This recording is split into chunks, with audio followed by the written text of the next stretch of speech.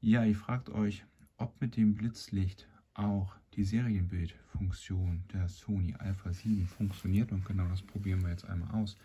Wir sind hier im Happy-Modus auf Auto und äh, schauen uns einmal hier die Funktion an, gehen von Einzelaufnahme auf Serienaufnahme und aktivieren hier auch den Blitzmodus auf Aufhellblitz.